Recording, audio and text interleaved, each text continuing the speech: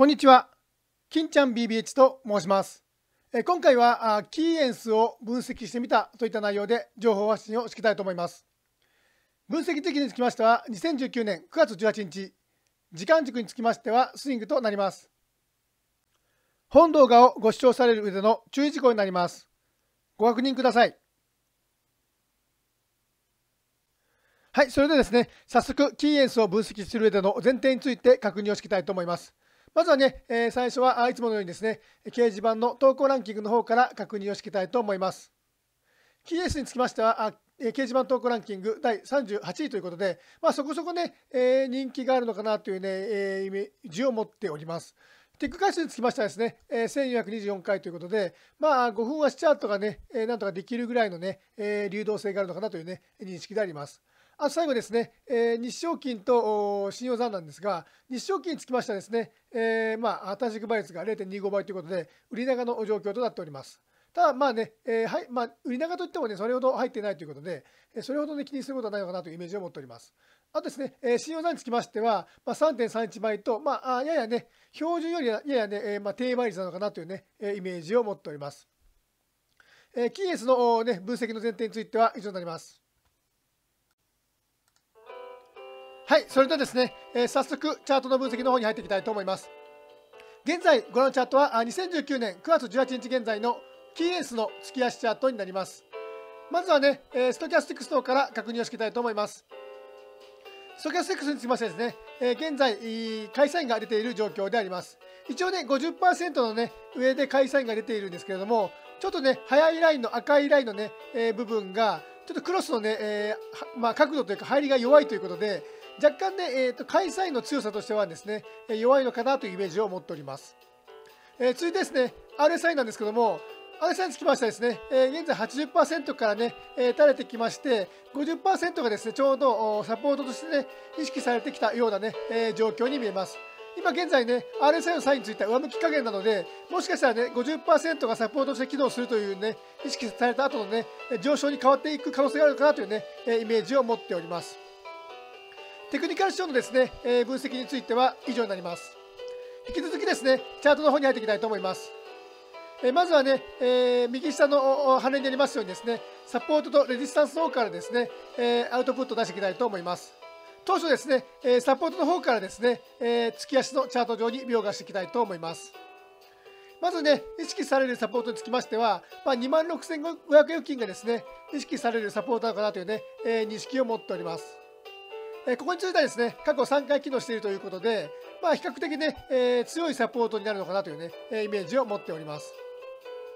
えー、続いてですね、意識されるサポートにつきましては、3万4000付近がですね、意識されるサポートになり得るのかなというね、イメージを持っております。ここについてはですね、過去2回機能していることで、まあそこそこね、意識される可能性が高いのかなというイメージを持っております。えー、それですね、意識されるサポートにつきましては、まあ、5万2000付近ですね、5万2000付近が意識されるサポートなのかなというイメージを持っております。これについてはですね、えー、過去機能しているのは2回なんですけども、まあ、押しやすいのでね、えー、まあ、見え見えていますので、えここもね、かなりね、確率高い確率で意識される可能性が高いのかなというイメージを持っております。あと最後ですね、えー、レジスタンスにつきましては、まあ、7万円金がですね、え意識されるレジスタンスになるのかなというイメージを持っております。これについてもですね、え過去2回機能しているということで、えここを抜けたらですね、えあとはあの価格帯別出来高の、ね、出来高がないということで、一気にね、上に上がる可能性があるのかなというね、えイメージを持っております。えまあ、サポートとね、えレジスタンスの分析については以上になります。引き続きですね、チャートをね、引きで見たね、え状況について確認していきたいと思います。まず月足につきましてはですね、えー、引きで見ていきますと、この黄色いね、えー、部分のところで、えー、まあ、チャートパターンをね、作っているのかなというイメージを持っております。このね、チャートパターンにつきましてはですね、まあ、ペナントということで、まあ、目標株価についてはですね、大体あのこの赤い矢印のね、え部分の値幅が動くことが予想されます。でそれをね、アウトプット出していきますと、大体ね、えペナントとして、ね、動く幅としてはですね、9万5000あたりが目標株価になっていくのかなというイメージを持っております。あとですね、もう一つ7万円のね、レジスタンス突破の、あのー、エネルギーがあるのかなというイメージを持っております。これについてはですね、5万2000円からのね、えー、まあ、エネルギーになりますので、大体ね、1万8000ですね、1万8000分のエネルギーが、あね、つくということで、えそれを計算していきますとですね、上に抜けた場合については8万1000円、下に抜けた場合についてはね、え 3, 3万4000円ぐらいの目標株価になってくるのかなというね、イメージを持っております。え月足の分析については以上になります。はい、時間軸変わりまして、え現在ご覧のチャートは2019年9月18日現在のキーエンスの週足チャートになります。まずはね、RSI のから確認をしていきたいと思います。RSI につきましてはですね、え、現在50%突破してきている状況であります。若干ね、垂れ気味でありますので、えこれからね、えー、まあ、もしかしたら50%近辺でもみ合いになってくるね、え可能性もあるのかなというイメージを持っております。続いてですね、えー、信用残なんですけども、赤いラインがですね、信用改ざん、えー、黄色いラインが信用売り残になるんですけども、赤いラインのね、えー、信用改ざんについては比較的ね、え高い水準ですね。えー、黄色いラインの信用リターンについては、比較的で小、まあ、低い水準で位置しているのかなというイメージを持っております。まあ、これで言えることはですね、えー、信用残からはですね、若干ね、上値が重い状況になっているのかなというね、えー、認識であります。サブチャートの分析については以上になります。引き続きですね、えー、チャートの方に入っていきたいと思います。まずはね、えー、月足で分析をいたしましたサポートとですね、えレジスタンスおよびですね、え目標株価についてですね、え週足のチャート上に、え描画していきたいと思います。え続いてですね、えまあ、週足のチャートを引きで見た場合のですね、え値動き予測のできるね、えチャートパターンの方ですね、見ていきたいと思います。まずですね、え週足に注目いたしますと、今現在直近のところでこの部分ですね、ダブルボトムが完成さしかかっているのかなというね、え認識を持っております。このね、チャートパタンのね、えー、目標株価については、大体ですね、えー、この矢印分のね、値幅が動くことが予想されます。それで、えー、見ていきますと、大体ですね、8万あたりですね、8万あたり、上に抜けた場合については8万あたり、ダブルボトムのね、完成が失敗して、下抜け下場についたですね、5万円あたりぐらいまでですね、動いてくることが予想されます。え週足の分析については以上になります。はい、時間軸変わりまして、え現在、グロンチャートは2019年9月18日現在のキーエンスの冷やしチャートになります。まずはね、えー、RSA の方から確認をしていきたいと思います。RSA につきましてですね、え現在80%、変わり付け水準の80%をね、突破してきている状況であります。まあ、この状況を見るとですね、いつね、え調整が入ってもおかしくないんですが、ただですね、え真ん中の山ですね、RSI、真ん中の山ね、超えているということで、もしかしたらね、えー、まあ、このね、えダブルボトムのね、山をね、超えてくることを暗示しているのかなというね、イメージを持っております。RSI のね、え分析については以上になります。引き続きですね、えチャートの方に入っていきたいと思います。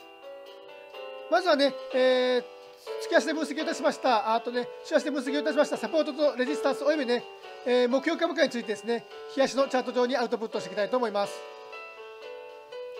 えー、続いてですね、えー、これらの目標株価、ねえー、等を利用しまして、えー、まあね、日足についてはですね、値動きの方をね、予想していきたいと思います。まずね、上抜きの方から予想していきたいと思います。えー、まずね、えー、上抜きする場合についてはですね、1回7万円の付近ですね、もみ合いになったとですね、えー、まあ、このね、えサポートの付近をね、リテストが入りまして、リテストでね、下抜けしなければですね、え下下抜けせずに、当時の高値上抜けしてくればですね、おそらく8万円あたりですね、7万円のところですね、え上抜けしてくれば8万あたりまでね、え伸びていくのかなというイメージを持っております。まあ、下抜け下場についてはですね、えー、だいたい6万、5万8000円ぐらいですね、5万8000円付近まで落ちていくのかなというイメージを持っております。ですね、えー、7万円を上抜けしたとですね、8万円までいったとですね、おそらくまた7万円付近まで、えー、リテストが入るのかなというイメージを持っております。その後ですね、えー、リテストで割らなければですね、えー、まあ、割らずに、当時の高値を超えてくればですね、8万8000円から9万5000円の間付近までですね、えー、伸びていくことが予想しております。ま、もしね、えー、リテストで失敗した場合についてはですね、えー、この付近ですね、えー、まあ、6万4000円ぐらいですかね、6万4000円付近まで落ちてくるのかなというイメージを持っております。あとですね、えー、下抜けした場合についてはですね、こういう値動きを予想しております。まあ、当初ですね、えー、っと、まあ、5万、あ5万8000円付近までね、えー、調整した後ですね、戻りでですね、えー、まあ、6万4000付近ですね、6万4000付近まで戻ると思うんですが、そこからですね、えー、リテスト超えなければですね、えー、まあ、超えずに当時の安値を割ってくれば、おそらく5万円あたりまで落ちてくることが予想されます。まあ、もしね、リテストで超えてしまった場合についてはね、えー、再び7万円付近まで、えー、戻してくるのかなというイメージを持っております。またですね、5万円付近まで落ちたとですね、えー、おそらくまたリテストが入ってくると思うんですけども、その場合はね、5万8000グリックまでね、えー、リテストが入ってくるのかなというイメージを持っております。で、そのリテストでですね、えー、まあ、上抜けしなければ、まあ、上抜けせずにですね、当時の安値を割ってくれば、まあ、3万4000円あたりぐらいまで落ちてくるのかなというイメージを持っております。まあ、リテストでね、超えてしまった場合については名前までね、えー、戻してくるのかなというね、えー、イメージを持っております。キーエースの分析については以上になります。